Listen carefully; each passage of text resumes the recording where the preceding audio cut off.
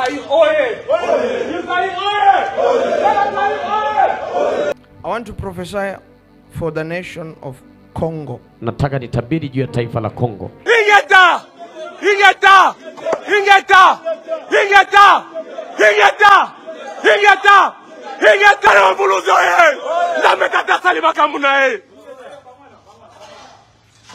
Congo, Congo. pray for your government. Omba kwa ajili ya serikali yenu, Especially pray for your president, zaidi sana omba kwa ajili ya rais the one that is leading your nation. huyu ambaye anaongoza taifa lenu. I am seeing Ninaona a group of people. kundi la watu They are sitting down.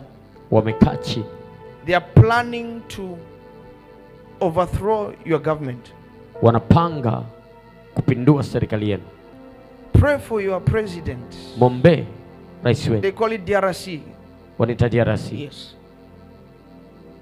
Congo, this DRC Congo. Hii DRC This Congo, Democratic Republic of Congo. Jamhuri ya Demokrasia ya Kongo.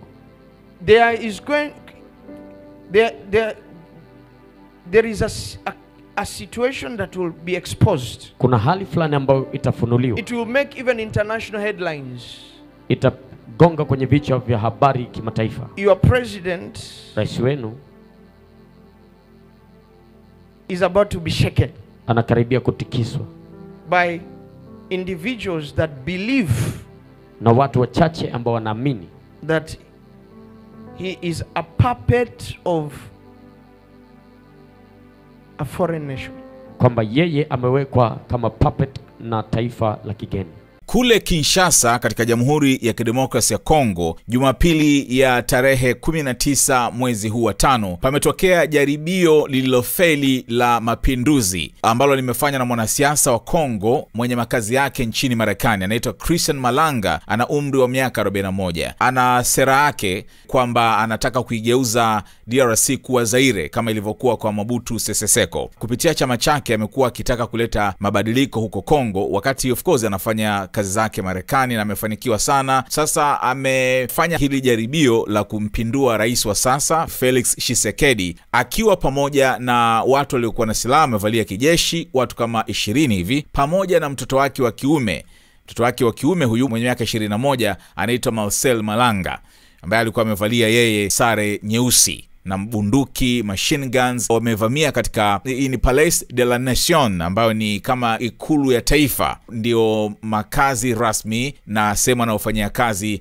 eh, rais shisekedi Not killed, no, no. But I saw the man running for his safety. nimeona akikimbia When he ran. The country was taken. taifa The ones that are about to take the country, Wanaokaribia kulichukua taifa, God is not with them. Mungu hayuko nao.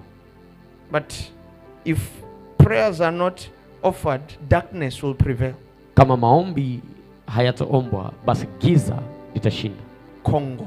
Kongo. Awa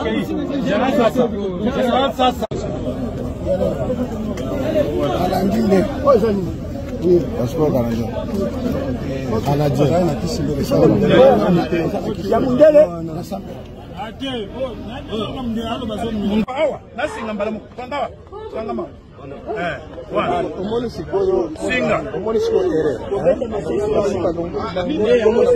nono ba bao baza boye. Baye boye. Bao bamosusu baza nango te